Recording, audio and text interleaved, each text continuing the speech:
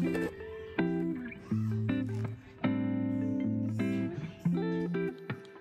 morning. It is March 13th. There's pollen everywhere, there's rain everywhere, but I've got a good cup of coffee, so that's okay. Today, we're gonna go to my dad's house. He recently hopped back into playing on his worship team at church. We're gonna have him set up his Pod Go to play worship music. He just got it, doesn't have anything really set up on yet, so we're gonna get him up and running. I'm gonna take you along for the ride. Let's go.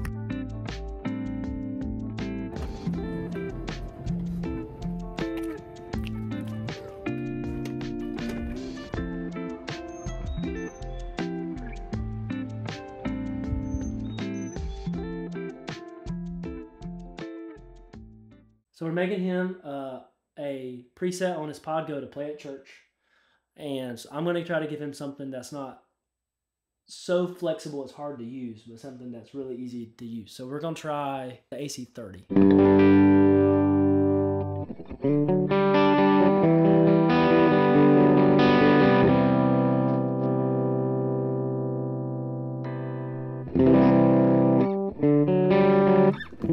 So that's the Vox kind of a thing.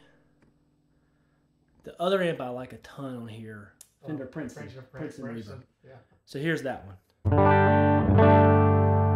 You have a prep, and then I'll give you one more. This is um, a matchless.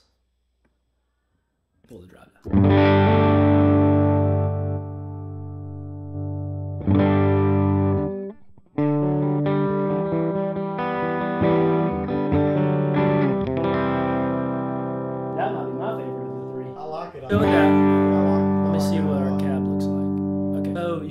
Different mics. I'm not gonna get you way hung up in it. But this mic is really dark. Okay. You can get a little brighter. Yeah, I like that one a little Yeah, Do you- better. There's this mic, and this is the mic it was on. Here's like the brightest mic you could go with. Think this mic is a good blend.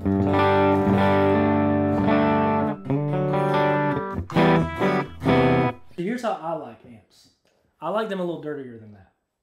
And you can decide. So I'll show you what I would do.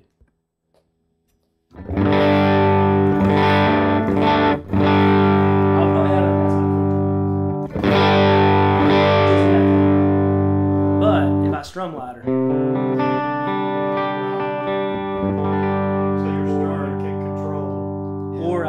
volume knob down. Is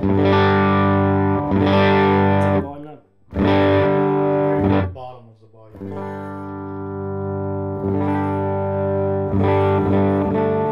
That was clean. It just takes a little more thoughtful playing, but once you get used to it, everything just sounds better to me because the amp's open. But like most stuff in worship that sounds clean, it's not as clean as you think it is. Yeah. I'm a weirdo and like would like to do delay and reverb next. They're on so much. You want delay and reverb, I assume? Oh yeah. I like this one. It's called Dynamic Hall. It's like smart enough to know when you're playing, and it like peaks up after. Now that's way too loud, but it makes it not muddy. So with reverbs, I typically go with a lower mix, 15, 20%, but a pretty high decay, so that's six seconds. That's a really long reverb tail. But what I found is if the mix is low, basically as your guitar tone is ringing out, it flutters out. And pre-delay is like how many milliseconds once you play till the reverb kicks in. Does that make sense? It'll delay the reverb. And the cool thing about that is if you turn it up, so it's on 50 milliseconds right now, probably leave it. We'll play and then the reverb hits. So it doesn't actually muddy up what you're doing. It's a high cut, which takes off the top end. I like because I don't want it real. I want it pretty dark.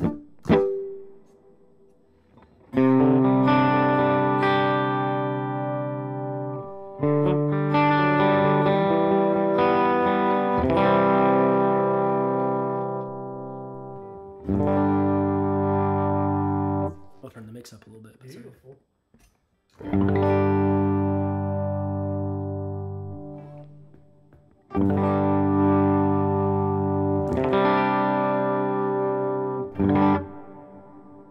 it's actually a ton of reverb. But you can't, it's not muddy. Let's do some delay. Like this delay. It's called transistor tape.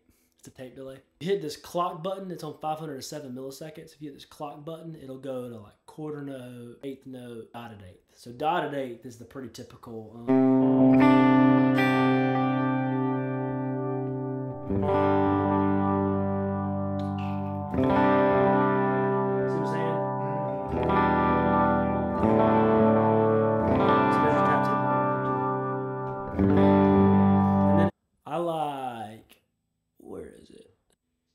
This will be your first one. The goal of this one would be, once we get it dialed in, that from clean to turning this on, you would barely hear a tone difference.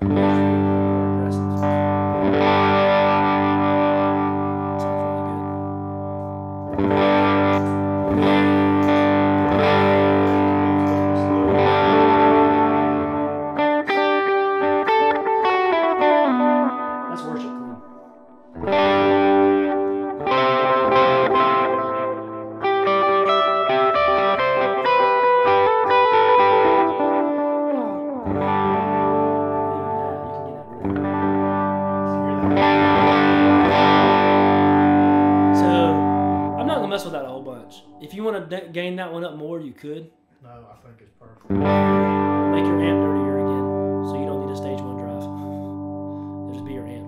Does that make sense? Mm-hmm.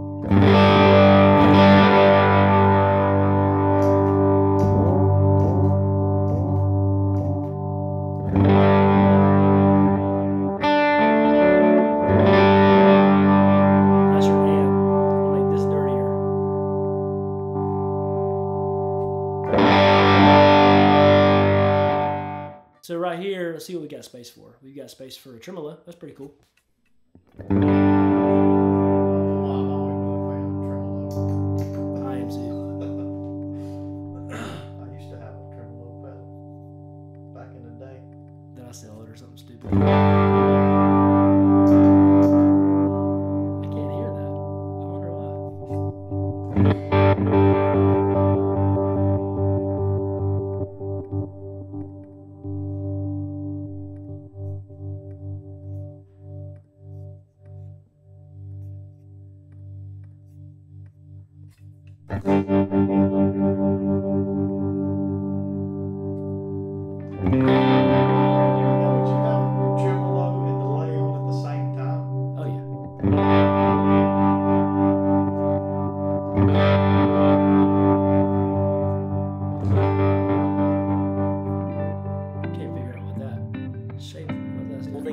Dad's house is you find old stuff like this. Yeah.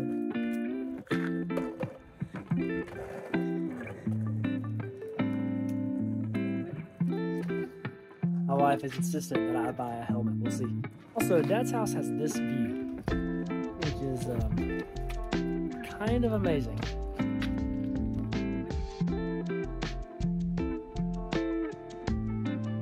We've arrived home. Got my dad four different Pod Go presets designed. Have a basic worship guitar one, one that's more about swells, one that's more about a guitar pad, and then a bass one that's got some grit on it. He's got an option to add more grit to it. He's got a couple compressors. I think it's gonna help him a lot. The Pod Go's really cool. It's insane to me that used you can get those things for like three, four hundred bucks, and the tone you can get out of that for that cheap is insane. I used to have a delay pedal that cost three or four hundred dollars. You know the company, so it's insane to me that for that same price you can basically have a whole guitar rig that sounds really,